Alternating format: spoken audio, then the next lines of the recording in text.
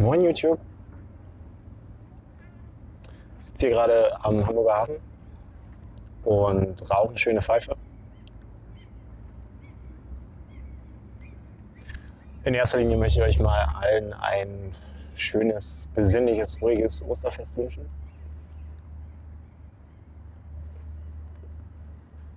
Ich hoffe, ihr verbringt Ostern mit ja, euren Liebsten, euren Familien. Viel Besuch ist ja nicht drin.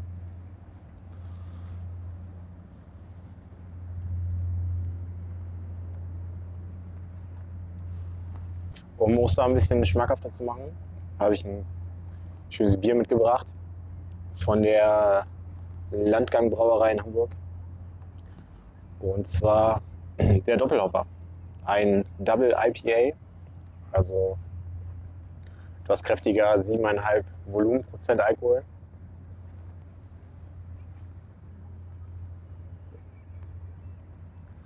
Ja, ist ein tolles Bier, macht Spaß, schmeckt sehr hopfig. Ich liebe ja hopfenlastige Biere, so typische norddeutsche Biere. Und da passt das ganz hervorragend.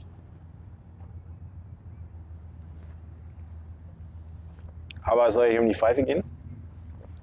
Deswegen einmal ganz kurz in die Kamera. Heute in der Red Race Old Gory Shape Nummer 6. Eine für mein Dafürhalten eine Band Bulldog. Ja, ich würde auch schon alleine aufgrund der Form. Es ist eigentlich eher so ein Twitter-Ding aus Bulldog und Rhodesian. Und darin rauche ich heute Robert McConnell Regent Street, umgefüllt hier schon mal in so ein Glas. Das soll ja der Nachfolger eines ja doch bekannten Tabaks sein. Ich habe mir ein bisschen was dazu notiert. Und zwar gab es ja lange Zeit von Dunhill den Elizabethan Mixture, der dann irgendwann eingestellt wurde oder auch von Peterson nicht übernommen wurde.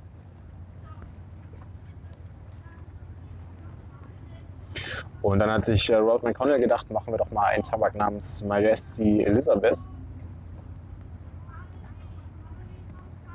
Also damals von Cola aus Kopf hergestellt der sollte wohl angeblich relativ dicht an diese Elizabethan Mixture rankommen.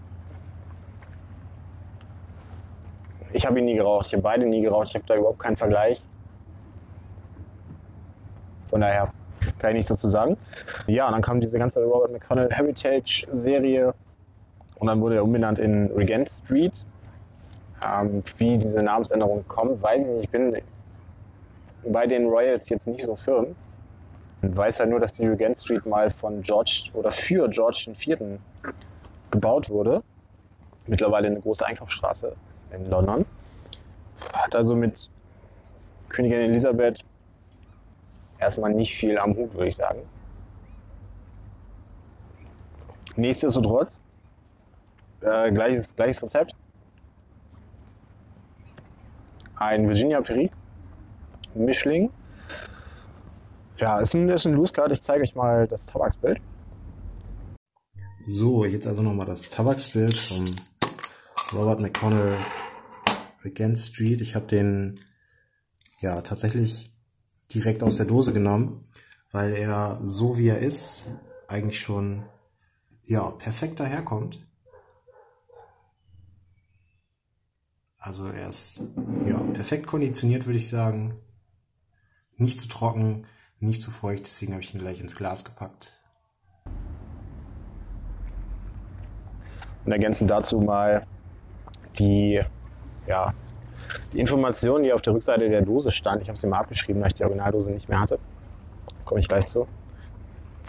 Also der Hersteller sagt, dunkle, langgeschnittene Virginia-Tabake und eine Prise Prieg verleihen dieser englischen Loose Cup Mischung ein volles Aroma, verbunden mit einem weichen Geschmack und einer Pfeff, einem pfeffrigen Finale. Ja, das kann ich tatsächlich so unterschreiben. Nicht wundern, ich sitze hier auf einem Ponton, wo ab und zu mal eine Fähre anlegt. Die dann immer mit relativ viel Schwung hier gegen diesen Ponton fährt. Dadurch wackelt das Ganze dann mal hin und wieder. Aber dieser Tabak, ja. Virginia Perique.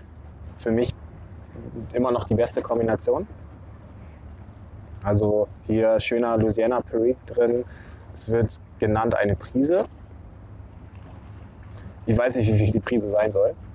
Kommt aber auf jeden Fall sehr, sehr gut durch. Wenn man dran riecht,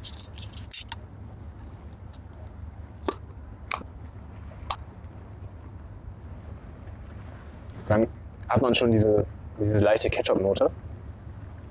Dieses ja, Essig-Ketchup. Ja, klassisch Piri. Wirklich, ich mag das sehr gerne.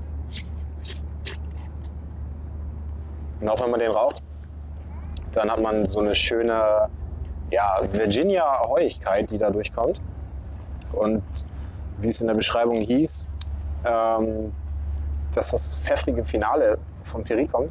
Ist wirklich so. Also im Mund kommt erstmal das, das Virginia-Aroma an und das, das pfeffrige Perique-Aroma legt sich so leicht drüber. Also wirklich eine genau richtige Menge von Perique. Ja, Geschmack, klassisch Perique, kommt gut durch, ein bisschen fruchtig dabei. Ein bisschen Dörrobst kann man vielleicht mit viel Fantasie schmecken. Eine angenehme Süße von Virginia, leichte Grasigkeit und ganz zum Schluss leichte Säure und Pfeffrigkeit und leichtes Pfefferaroma. Sehr harmonisch. Stärke würde ich mal grob sagen eine 3 von 6 Punkten. Ist nicht übermäßig stark, aber schon insgesamt aromatisch. Ist kein Langweiler.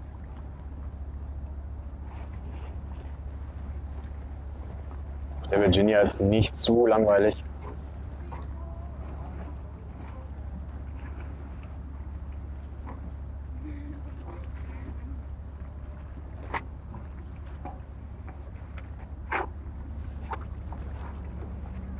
Ja, ich sitze hier noch ein bisschen, genieße das Plätschern der Elbe. Und dann bis dahin, euer Christian aus Hamburg.